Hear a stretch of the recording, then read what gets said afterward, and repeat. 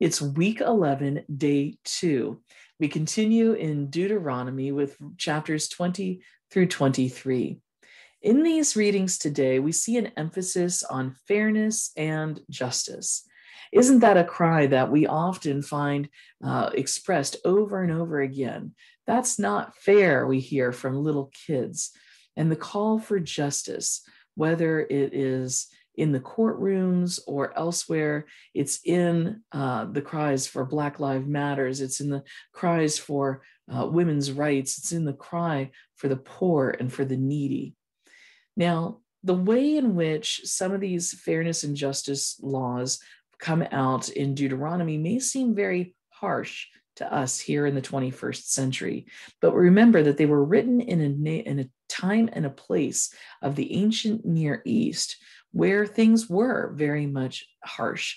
And so we have to focus instead of on the specifics of how, because they're not done the same way we would do them today, or even the way God would call us to do them today, but it instead emphasizes that we are meant to be a people set apart, a people set apart for God.